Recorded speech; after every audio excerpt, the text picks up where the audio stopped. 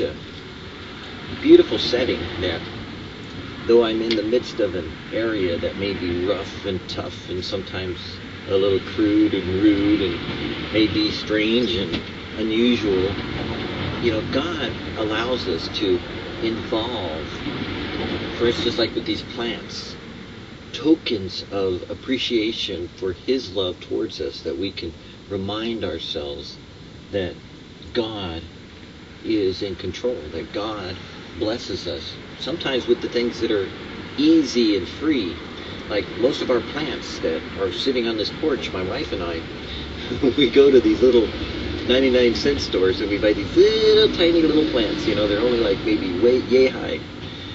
And then we grow them. you know, the Lord blesses.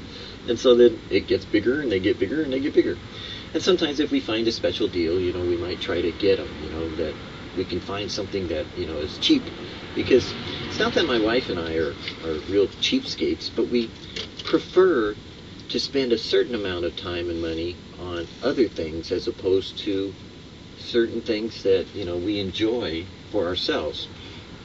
So when we take the time to invest our funds or finances or that which God has given us, which is not much, but praise the we've been both abounding and abasing at times, where we've been prosperous and poor, that we've chosen to take the way that is less traveled so that we could share what we've experienced in life with others in a way that would not isolate us from anyone, whether they be poor, homeless, helpless, or full of prosperity and running around, you know, with diamonds or, or or jewels or rings on their fingers and bells on their toes so they have music wherever they go.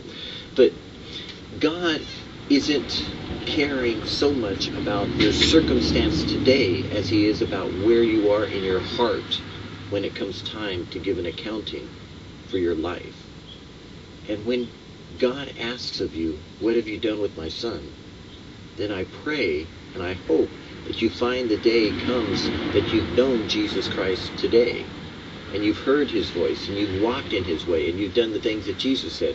Because it's easy to get a comfortable religion that can place you, take you, and conform you into a place where it's simple to just simply say, hey, I was this, and you could fill in the blank. You know, you could put in any number of Christian denominations there, whether it be Catholic, Protestant, Methodist, Anabaptist, Baptist, Greek Orthodox, Roman Catholic, uh, boy, we could go on, fundamentalist, Pentecostal, Methodist, and you just work your way down, you, you know, all kinds of denominations that at one time, maybe they were like on fire for God, you know, and they knew Jesus.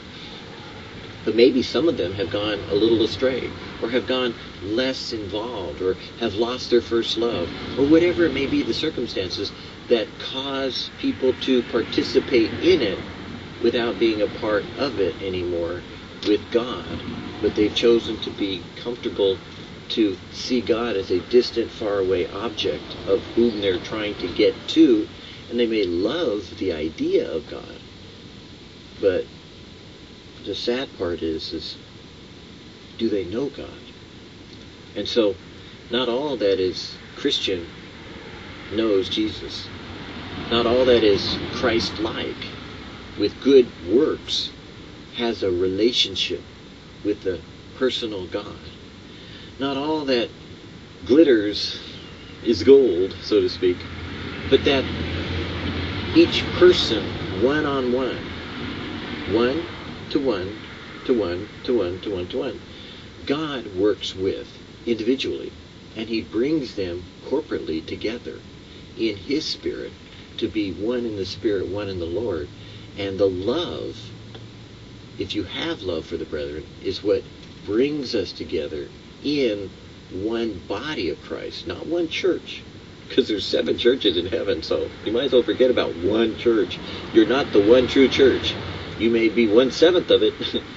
Which, if you look at the letters to the seven churches, I hate to say it, but there's some pretty radical, weird kind of churches there. You know, some of them are good, some of them are bad, some of them are kind of like mixed up, and some of them don't even know which way they're going. yet God is in the midst of them and he tells them what to do. But there's no one true church. There is one God. There is one Lord. There is one bride and one bridegroom, and you're being woven into the garment that the bride wears. You are becoming a part of this bigger picture that God has created you to be a part of with your gifts, abilities, talents, personality, individually quirkiness to become a part of the body of Christ that becomes the bride that is going to be taken from this world soon. But in the meantime, we have things that God tells us to do. He's spoken, He's said, and sometimes the church helps us to go in that direction. But the church is meant to instruct us, to encourage us, to exhort us, to prepare us, to train us, so that we could go out and share Jesus. So don't be stuck in a pew if you don't know what to do. Sit still, open up your Bible, open up your devotional, and today ask God what He would have you to do. You may find yourself surprised. He might answer you.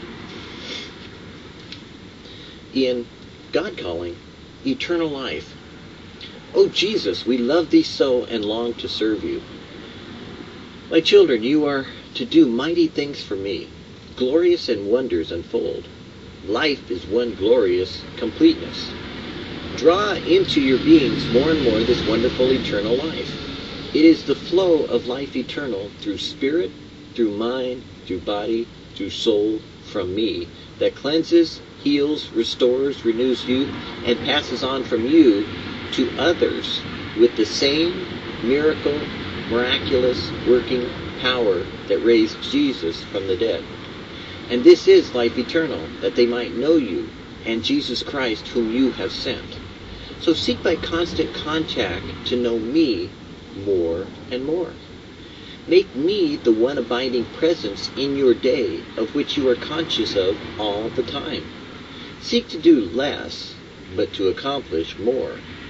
To achieve more, to be more. Doing is action. Achievement is successful action.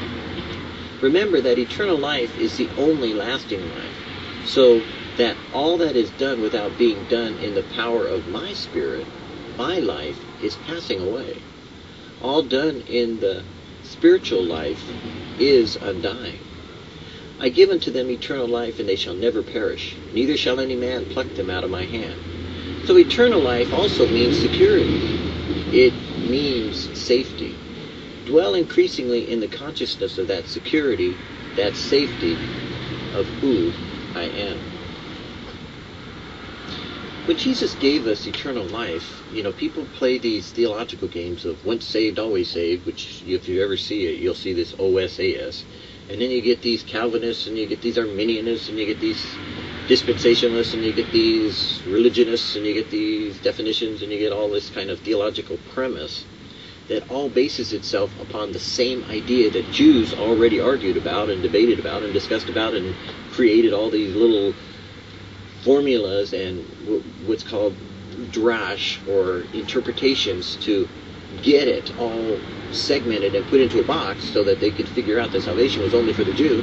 And in reality, Jesus came and said, uh uh, sorry, that's not true. And then now we have the opposite extreme where sometimes we get religious people working on this whole idea of what God has provided for us in the way of salvation. And so create all these terminologies just like Jewish people did and they got God in a box again. So God says, uh-uh, sorry. And he moves outside of the box always to accomplish his purpose. So it's not that God is universal in the sense of creating we're all going to get there. But he's universal in the sense of one thing. He will accomplish his will, and he will give salvation to whom he chooses. No man knows who has salvation. I don't know if you're saved. I don't know who is saved. I know this. Jesus knows.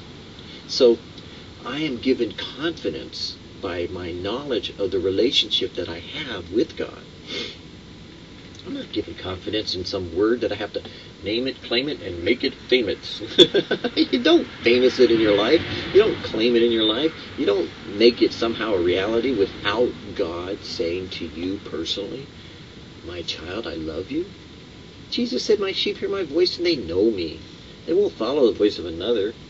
You know, sometimes we need to get over the religious talk and get back to the reality, the realism of what Jesus said. The realism is, hey, if you want to hear me, I said you could hear my voice. So start simple and work on it.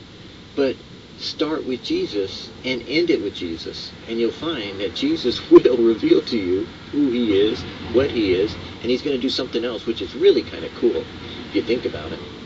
He's going to introduce you to his Father in heaven. And he's going to say, I want you to know my Father in heaven as I know my Father in heaven. And I want you to be one with my Father in heaven as I am with my Father in heaven. Because